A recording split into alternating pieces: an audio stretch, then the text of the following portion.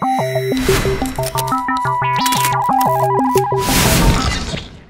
guys, it's David from theunlockr.com. Today we have a jailbreak tweak. This one is going to show you how to really take advantage and customize all of the folders throughout iOS 7. Okay, first we need to go to Cydia. Tap search in the bottom right. And we're going to type in folder enhancer for iOS 7. Tap purchase. Sign in with whichever you'd like to sign in with. Enter in your passcode. Select your payment method. And once you pay, you can tap close and the purchase will turn into an install. Tap that. Tap confirm. Wait for it to install. Tap Restart Springboard and wait for that to happen.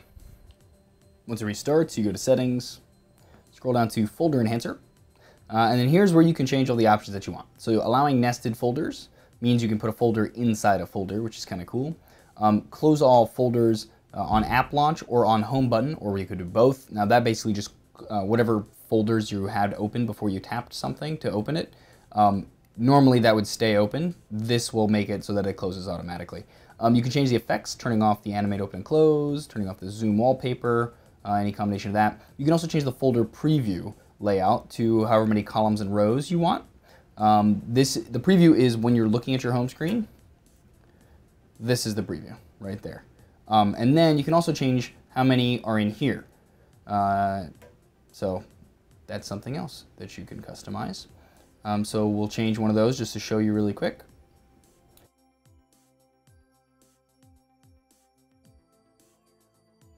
Then you hit respring in order for the icon changes to take place.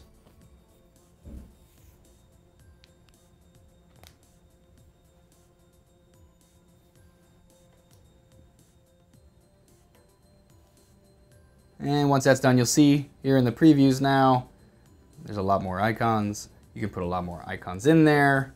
Um, you can also create folders within folders. You just tap outside to get back out. There you go. Enjoy.